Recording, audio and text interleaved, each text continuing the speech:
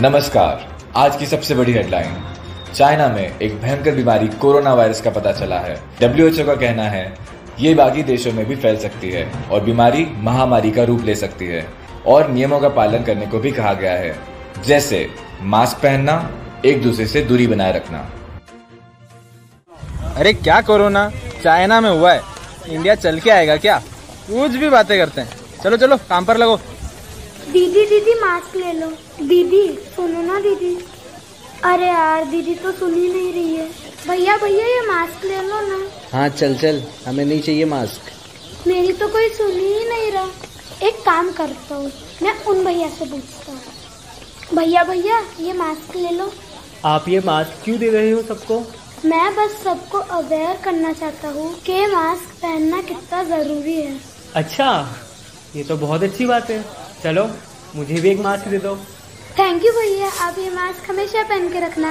Okay bye भैया। Okay बेटा। Corona ने दी भारत में दस्तक पीएम मोदी ने कहा।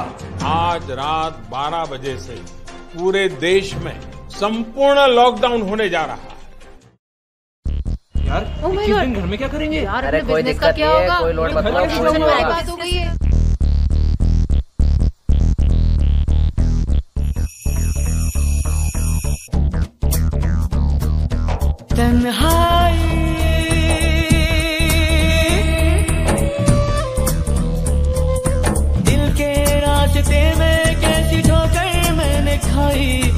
अचीवमेंट टूटे ख्वाब सारे एक मायूसी है छाई।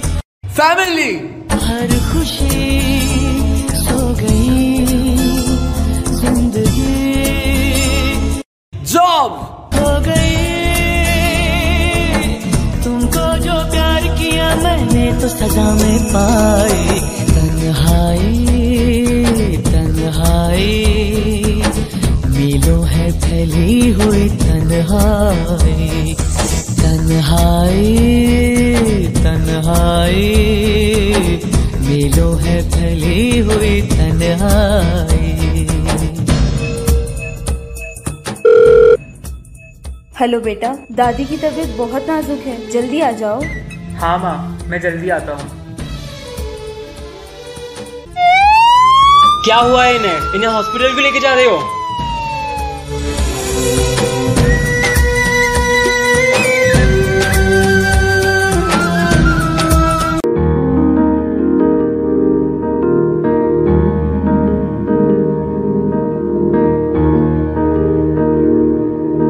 नन्ही सी हँसी भोली सी खुशी, फूलों सी वो बाहें भूल गए। जब देश ने दी आवाज़, हमें हम घर की राहें भूल गए। हम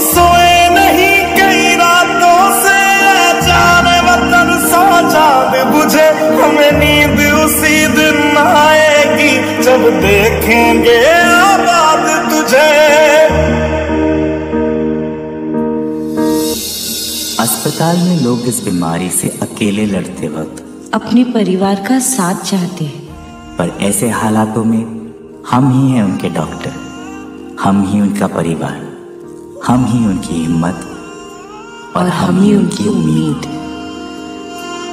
मजबूर हुई जब दिल की दुआ तो हमने दवा से काम लिया। वो नब्ज नहीं, फिर थमने दी, जिस नब्ज को हमने थाम लिया।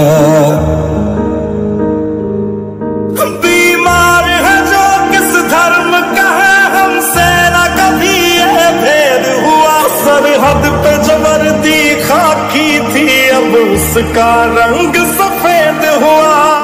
जवान अपनी जान की बाजी लगाकर सरहद की सीमा रेखा की रक्षा कर रहे हैं। लेकिन भारत की जीवन रेखा की ज़िम्मेदारी अब हमारे हाथ है। तेरी मिट्टी में मिल जावा गुल बन के मैं खिल जावा। इतनी सी है दिल की आरज़ू।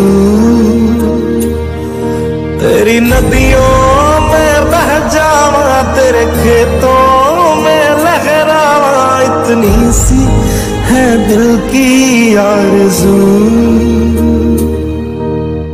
इस कोरोना के डर से लोग सिर्फ़ एक टच से घबराते हैं। हम डॉक्टर्स हैं रोज मौत से हाथ मिलाकर आते हैं।